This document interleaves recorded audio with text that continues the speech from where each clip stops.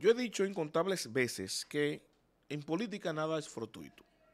Y las acciones que hacen políticos, y más políticos veteranos rejugados, tienen un trasfondo, tienen una razón de ser estratégica, ¿no? U obedecen a análisis profundo de la política. Digo esto porque me ha llegado, por ejemplo, el listado de los aspirantes al Parlacén del Partido de la Liberación Dominicana. Esto es un listado hecho por la Comisión Nacional Electoral del PLD. Yo veo aquí 32 personas aspirando. Pero me llama poderosamente la atención los siguientes nombres y les voy a decir por qué. Primero voy a decir los nombres luego les voy a decir por qué me llama la atención. Aquí veo en la posición número 3 a doña Margarita Cedeño, aspirando al Parlacén. Veo en la posición número 12 a Rubén Bichara. Veo en la posición 22 a Margarita Pimentel y en la posición 26 a Karen Ricardo. También están aquí otros personajes muy conocidos como el doctor Sánchez Cárdenas, que fuera ministro de Salud. Pero, entre todos los que veo aquí, mencioné principalmente cuatro. Los primeros cuatro que mencioné son miembros del comité político del PLD. Pero no solamente miembros del comité político del PLD, sino que doña Margarita fue vicepresidenta del PLD, vicepresidenta de la República. Bichara fue vicepresidente ejecutivo de la CDE, o sea, altos funcionarios. Margarita Pimentel también estuvo en el gobierno. Karen Ricardo, ustedes saben que estuvo en los programas especiales, lo que donde estaba Domingo Contreras antes de Domingo salir a aspirar en el 16, ¿verdad? En, la DGP. Eh, y Cárdenas fue ministro de Salud. Son altos cargos, miembros de la dirigencia principal o de la cúpula del PLD. Cuando usted ve estos perfiles, que inclusive entre ellos hay dos que estuvieron aspirando a la presidencia, como doña Margarita y Karen Ricardo, la pregunta obligatoria aquí es, ¿qué significa esto para el PLD? ¿Qué significa esto para el proyecto presidencial de Abel Martínez? ¿Se están apiando del barco? ¿Están admitiendo una derrota por adelantado? ¿No creen ni Margarita, ni Bichara, ni Karen, ni Margarita Pimentel, ni Cárdenas, que es posible que la oposición eh, salga victoriosa en el 24. Y si es así, ¿por qué decírselo al mundo? ¿Por qué no esperar que pase mayo, que faltan dos meses y algo? Entonces, eh, inscribirse en una aspiración en el Parlacén, no solamente para mí, ¿no? manda un mal mensaje a la militancia de ese partido de una admisión de derrota, sino que también eh, raya en lo, irresponsable. Oye, ¿por qué? Edwin Marcay. Un partido de oposición que está batallando en contra de un partido en el gobierno que, aparte de gozar de mayor apoyo popular, tiene el poder que le dan los recursos del Estado, directa o indirectamente, no vamos a entrar en ese detalle, necesita ese partido de oposición de sus mejores soldados para enfrentar electoralmente al partido de gobierno. Entonces, no es responsable, no es justo para la militancia de la oposición que las personas que mejores posiciones han ostentado en los gobiernos del PLD, ¿verdad? que representaron a las mayorías en posiciones tan importantes como la vicepresidencia, como un ministerio, como una corporación nacional que manejó tantos recursos, y no por los recursos que pudieron haber manejado, sino por la implicación en el liderazgo nacional de la militancia PLDista. Porque el hecho de que se aspira a una diputación, lo más responsable, lo más beneficioso para su partido habría sido inscribirse para buscar votos, no recostarse del Parlacén para que les regalen una diputación. O sea, el PLD, ¿qué necesita el PLD? El PLD habría sacado beneficio de una Margarita que no pudo ser la candidata presidencial, por ejemplo, inscrita en una senaduría, en lugar de ponerse en un listado para que le regalen una, diputación, que ya ella es diputada en el Parlacén, le toca por haber sido vicepresidencia, salen automáticamente, es un, un protocolo en el Parlacén, al igual que Danilo, así salió Hipólito y Leonel también. Saldrá Luis cuando le toque en su momento. Pero ahora su partido lo que habría requerido que se inscribiera una candidatura para que con su imagen nacional canalizara más votación y más fuerza electoral para su partido, no que se inscriba en un listado para que le regalen una posición. Así mismo Bichara, que es un estratega político del PLD. ¿Qué hace Bichara? ¿Qué hace Margarita? ¿Qué hace Cárdenas? ¿Qué hace Karen inscribiéndose en un listado para que le regalen una diputación? En lugar de inscribirse. ¿Por qué no se inscribió Karen? Alcaldesa otra vez esto. No, porque de ahí en paso Luis Alberto esa diputada. No, que ya usted fue diputado. Sí, sacrifíquese por su partido, que esté en la oposición, que necesita movilizar votos mayoritariamente. Y su candidato necesita votos.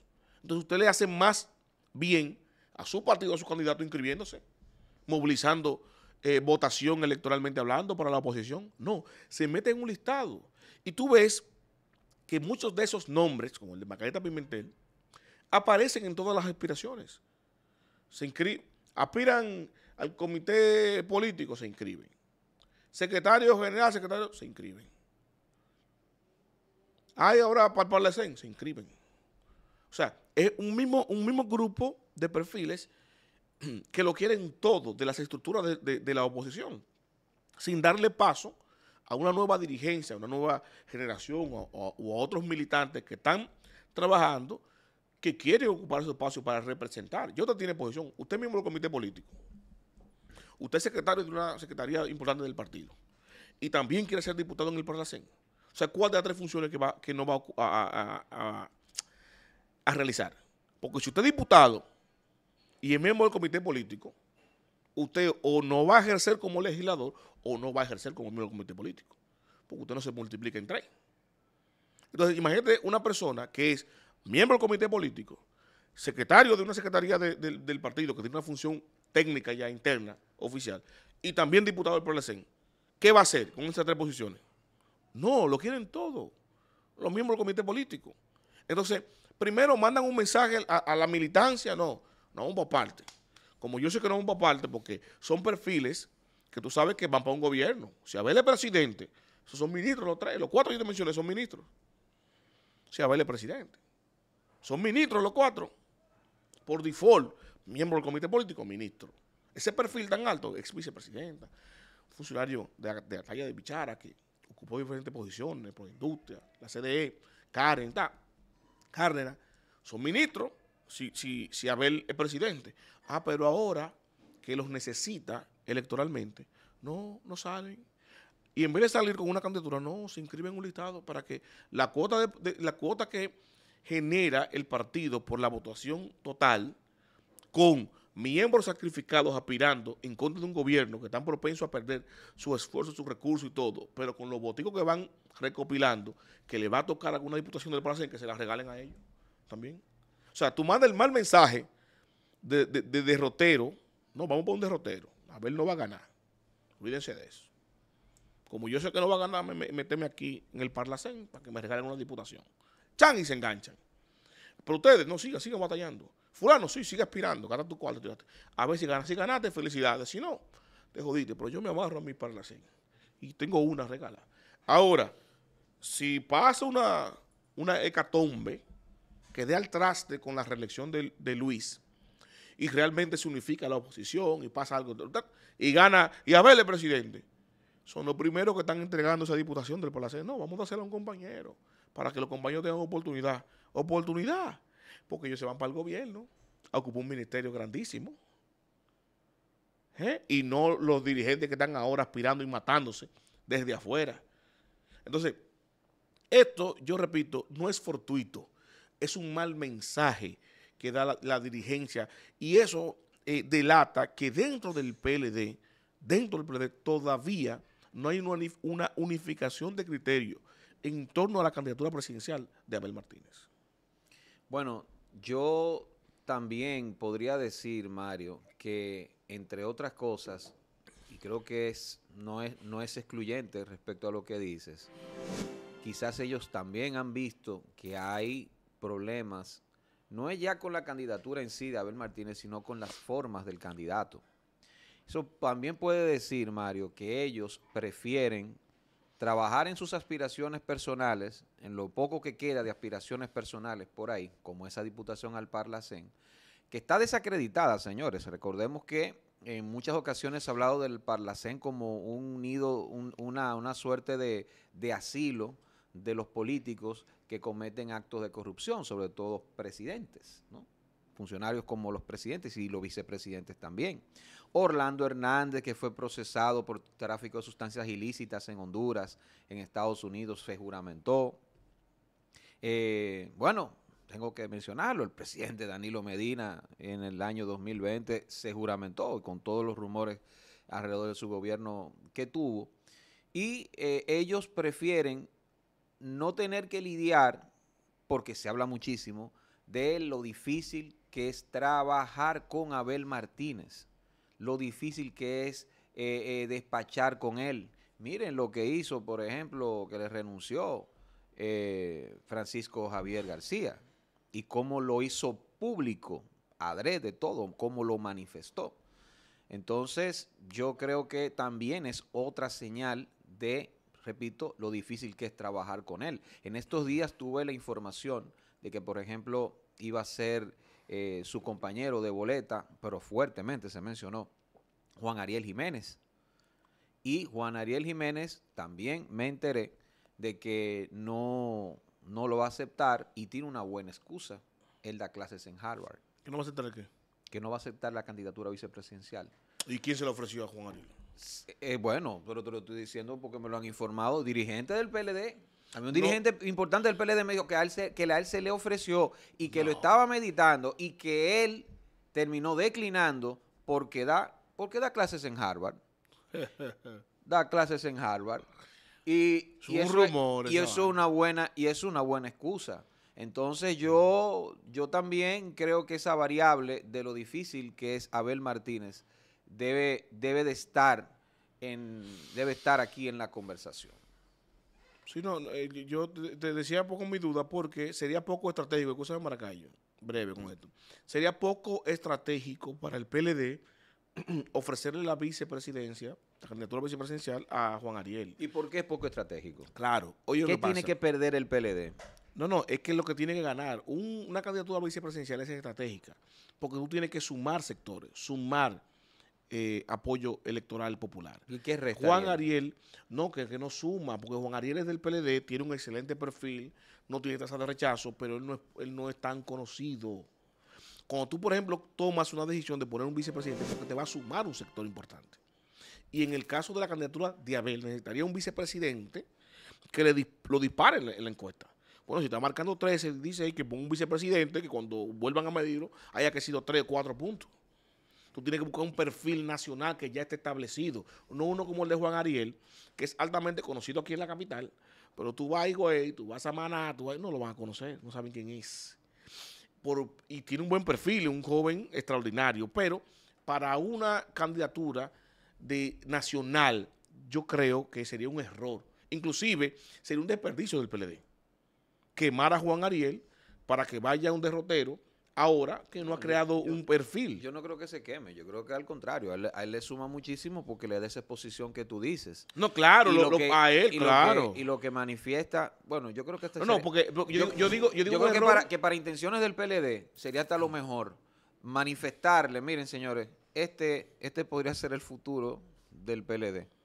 Tú poniéndolo este. como vice ahora. Este podría No, ser pero el que es muy poco tiempo. Si, si ¿Tú sabes por qué? meses. Porque pienso, disculpa, Mario, en Leonel Fernández en el año 1994, que fue el candidato vicepresidencial junto a Juan Bosch. El que hizo campaña ese año fue Leonel Fernández. Sí, pero, independientemente, pero, no, pero no dos meses. independientemente, eh, espera, pero independientemente de lo, de lo indispuesto, eh, por, por razones eh, ya propias de la salud eh, de- del profesor Juan Bosch, Leonel Fernández no era conocido en el país más que ir a Sábado de Corporán, alguno que otro programa, escribir el libro ese del fraude colosal de 1990, no, era conocido. No, y ahí tuvieron que hacer una campaña él- que llamó un millón de abrazos para darlo a conocer. él, él, él fue, exacto, pero se empezó a dar a conocer ahí a nivel nacional en esa campaña presidencial. Yo no descarto no que, de con Ariel, meses. que con Juan Ariel pueda pasar no, eso. no, pero que no hay tiempo, hermano. Si tú me dijeras a mí, por ejemplo, vamos a proyectar a Juan Ariel para que él sea el futuro del PLD y para cosas, ¿verdad? Ok, primero hay varios, hay varios, varias falencias. Leonel, a diferencia de Juan Ariel, en su momento en el PLD, había aspirado a otras posiciones y las había ganado. Él aspiró a diputado. y tuvo que y lo sacrificaron por el partido. Después volvió a aspirar la segunda vez y otra vez se la quitaron y salieron a otro dirigente. Juan Bosch lo ve, un tipo militar, y lo inscribe como candidato vicepresidencial, como tú dices, de su, de su candidato, eh, de su proyecto pero Lionel tuvo todo un año para hacer campaña. No, no, no, no, fue un año, porque que, un año entero, no, porque que tú escoges, tú escoges al vicepresidente generalmente en febrero, no, pero, enero, pero con Juan Mono fue mismo año de las elecciones. No, con Juan Mono fue así. Sí, fue así, Mario, yo lo recuerdo perfectamente, no fue un año, no fue Hermano, un año. un año entero, llévate de mí, que yo te, yo estoy diciendo lo que yo te estoy diciendo lo que hubo. Y que Leonel inclusive hizo una campaña que se llamó Un Millón de Abrazos. Y Leonel, cuando, cuando arrancó inclusive estratégicamente, que se eligió el, el vicepresidente rápido, es por lo mismo que tú dices, coño, Juan Bono puede salir el país entero a hacer campaña. Tenemos que poner un vicepresidente que arranque. Y el PLD, la cúpula política en ese momento entendía que el candidato vicepresidencial que iba a elegir Juan Bosch era de esos miembros del comité político que estaban ahí. Danilo, que, que Mario. Felucho, eh. ¿qué tal? Y fue una sorpresa para todos que Juan Bosch cogiera a Leonel y se armó tremendo lío. Ok. ¿Cuándo va a ser el tiempo entonces? Si nosotros aquí hemos eh, analizado y hemos visto y hemos recomendado al PLD que tiene que renovarse. Entonces, ¿cuándo, va, ¿cuándo van a empezar? Porque en algún momento tienen que empezar. No, ya, lo, entonces, lo más rápido yo te voy a decir una cosa. Eh, por ejemplo, en los juegos de, de básquetbol, por ejemplo, cuando ya la cosa está abierta, los, los equipos mandan a sus jugadores de banca porque tienen que empezar a foguearse. En algún momento tienen que empezar. Y aquí el PLD, ellos saben que van a perder. Y si ellos no saben que van a perder, entonces eh, que dejen la política. Que la dejen la política. Entonces, ¿qué momento van a empezar? Es que no van a empezar nunca. Y la prueba es esa. La, prueba es de que cuando cualquier PLDista de eso, tú le digas, eh, Ariel para vicepresidente, se salte de la silla. No, ¿cómo va a ser? Y esa vaina. Y ahí entonces tú das el diagnóstico, ah, que esta gente no, no van a empezar nunca. ¿Por qué? Lo único, no van a empezar la renovación nunca. No, no la eh, van... Actitud como esa de que, ¿cómo que van a eso? No hay tiempo, no. Eso no es actitud, mi hermano. Eso es, una actitud que, política, no lo contemplan ni siquiera empezar. No, tú te has equivocado. El tema es que tú aparentemente... O sea, ¿Qué mejor momento que este, Mario? No, mi hermano, es que, es que no es así, porque la política no se trabaja así. Dime una se, figura, se está viendo como una imposición. vicepresidencial que el PLD pueda mostrar que le suma. Dime una que le sume. No, pero de su partido. No, pero que cualquier... Porque fuera nadie va a querer. Ah, pero que es otro tema. Fuera nadie va a querer, es ¿verdad? otro tema. Tú tienes que okay, pero dime una, dime una. Estratégicamente, escúchame, estratégicamente las candidaturas, es que ninguno, un vicepresidente, ninguno lo coge dentro del partido por lo ah, general. con, la, con la excepción, por ejemplo, de Gonzalo, que cogió a Margarita, ¿verdad? Eh, si no tiene la robustez de ganar, por ejemplo, ¿qué hizo Luis? Danilo también lo hizo.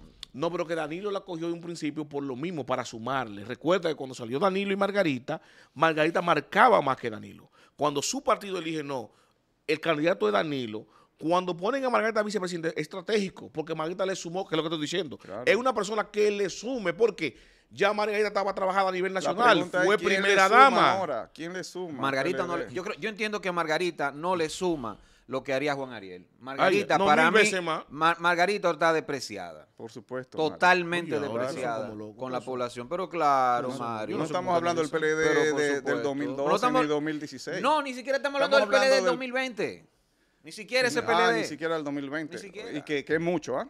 Imagínate ahora. Ustedes son unos, eh, unos expertos PLDistas ahora. No entiendo. No, no, no soy experto PLDista, pero uno Pero parece que sí, porque usted me diciendo a mí que... Uno ve lo que hay. No, ¿qué, es lo que usted está viendo? Juan Ariel en representa, el representa el futuro, ¿En el, PLD? el futuro de una renovación de un partido. Sí, pero yo no he dicho que no. Lo que pasa es que tú tienes que trabajarlo. Ah, ¿y no ha trabajado él?